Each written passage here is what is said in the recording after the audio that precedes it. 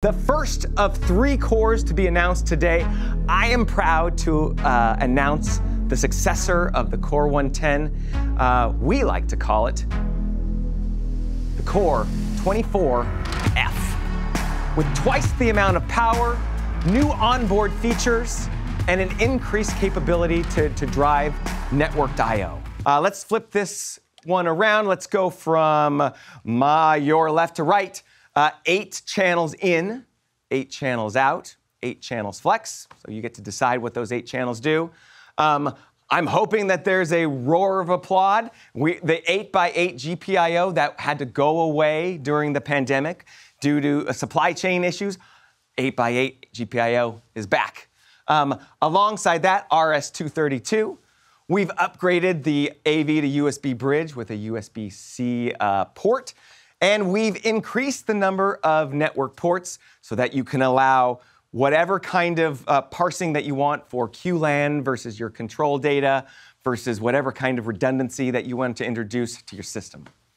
So those ports on the back are going to look really familiar to anyone who's already been working with the Core 110F, right? And that's by design. You know, if you are going to be retrofitting a room and upgrading to the 24F, well, all the connections are still there, but we've got more processing power now, right? A lot of the audio channels on the network have become more digital over the years. So while there are still the analog connections, we are expecting you to be using more I/O on the network, which is why these stats are the way they are, which I'm blocking right over here, right? So, like we said, two times the processing power of the Core 110F, which is about four times the processing power of a Core Nano. We've got an increase in the network I/O capacity from 128 by 128 to 160 by 160. You're all reading the stats behind me, so you're, you're ahead of me here, right? Uh, AEC channels up to 24 uh, from 16. That's at a 200 millisecond tail length.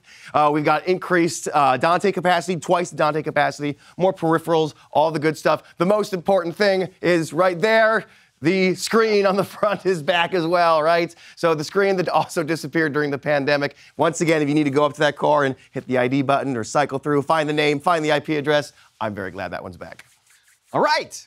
So that literally would have been enough to designate a full activate. Yeah, we're done. Um, but there are there are like eight or nine more things that we got to introduce. So and two of them are cores. Uh, uh, the next thing that we're going to introduce is a full new tier of cores um, that are going to fill out that portfolio and address those medium to large size uh, installations. Uh, we call it the X class.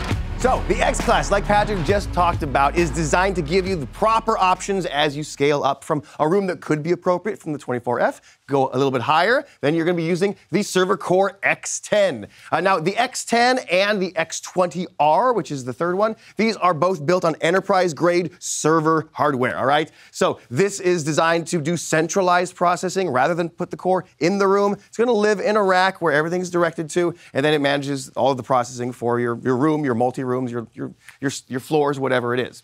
Uh, now, obviously, they're all going to be using the same Q-SYS Core operating system. The Core uh, X20R uh, is a little bit different. It, that one's built on a Dell server hardware. A little extra benefit for there. This is the X10. Oh, oh, that's the X10. Where's the? Which, oh, I'm, so you want stats first. Here's the X10 stats. Network uh, I/O 256 by 256. AEC channels go all the way up to 64, uh, and Dante channels 128 by 128.